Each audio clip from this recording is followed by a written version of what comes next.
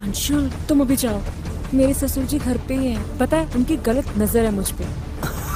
इस उम्र में? हाँ यार। नमस्कार दोस्तों स्वागत है एक बार फिर से आपके अपने चैनल बॉलीवुड रिव्यू में।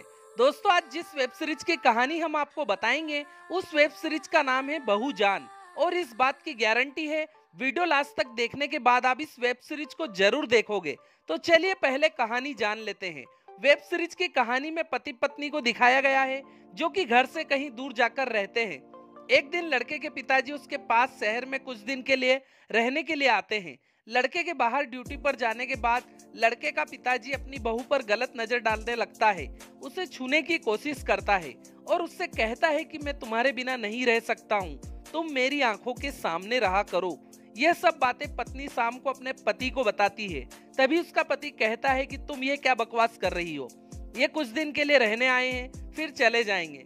तभी कहानी में एक और ट्विस्ट आता है। जब उसके पति के जाने के बाद पत्नी अपने आशिक को अपने घर पर बुलाती है और उसके साथ रोमांस करती है। साथ ही साथ ससुर की सारी करतूतें अपने आशिक को बताती है।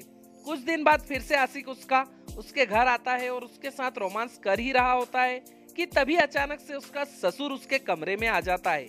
ससुर अपनी बहू से पूछता है कि, बहू, तुम ये क्या कर रही हो? तभी पीछे से आकर उसका आशिक उसका रुमाल से मुँह दबाकर उसको मार देता है।